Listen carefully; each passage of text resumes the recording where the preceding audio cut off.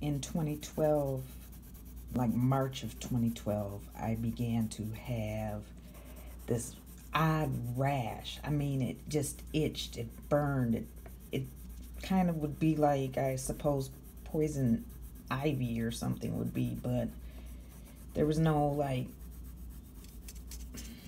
hint of the rash, except my skin just really itched a lot. It was hard to describe. Um, but I realized that now was an activation. Again, there wasn't information out there then like there is now about, well, there might have been, but if I didn't know what I was going through, how would I know what I was going through? You know? So I had, um, after that, had a really bad cyst, or not cyst, but some kind of really gross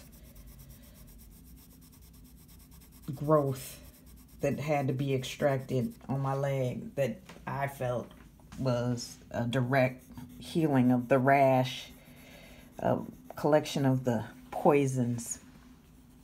And so that's just like a physical indication that something in your body is changing because what we're doing is we're working into our light bodies.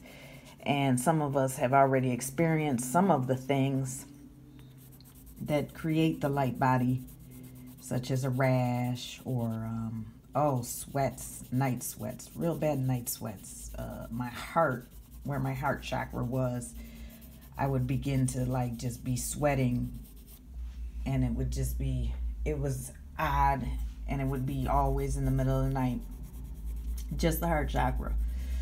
Also i would say that was an activation of some sort now looking back on it but at the time i had no point of reference so I'm just sharing some of these things because people are activating now and you're stepping into your light bodies and you're changing and your body is changing.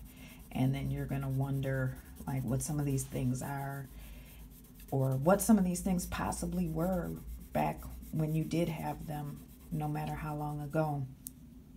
So we're all activating, we're all leveling up, we're all stepping in new suits so we could live on new earth peacefully and harmoniously. Anyway, have a wonderful day.